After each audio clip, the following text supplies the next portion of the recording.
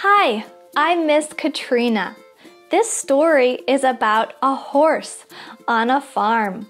The horse helps the farmer.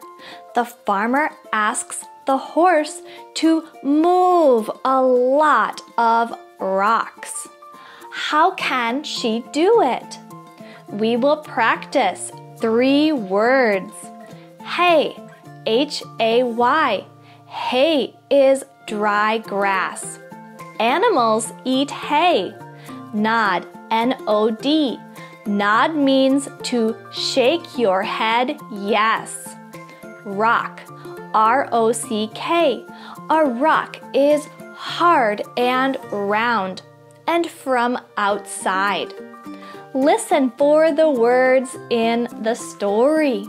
Hay, nod, rock. Let's begin.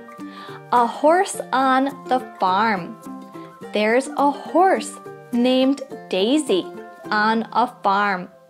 Daisy loves to run and play, but she also loves to be helpful. One day, the farmer asks Daisy to help with a hard job. Daisy is excited to help and runs over to the farmer. The farmer tells Daisy he needs to move a lot of hay from one side of the farm to the other. Daisy knows she can do it. She nods her head yes. Daisy has strong legs. She pushes the hay. She has big teeth. She puts the hay in her mouth and moves it. She works hard. She moves all of the hay in the morning. The farmer is happy. He thanks Daisy. Daisy is happy too. She eats lunch and takes a nap. Then the farmer says he has one more job for Daisy. He asks Daisy to move a lot of rocks. Daisy is a little scared. The rocks are heavy, but she can try.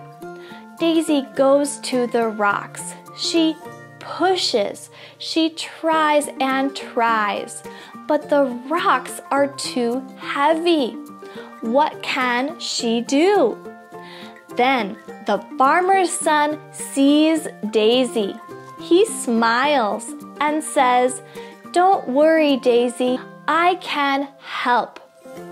The farmer's son and Daisy move the rocks to the other side of the farm.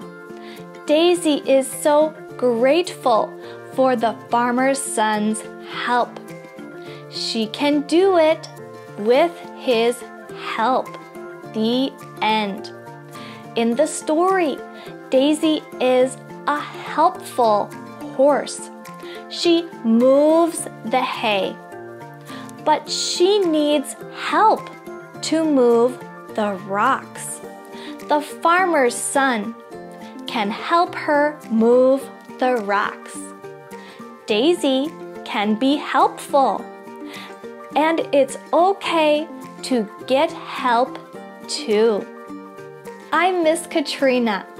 Thank you for listening and reading with me. Bye now.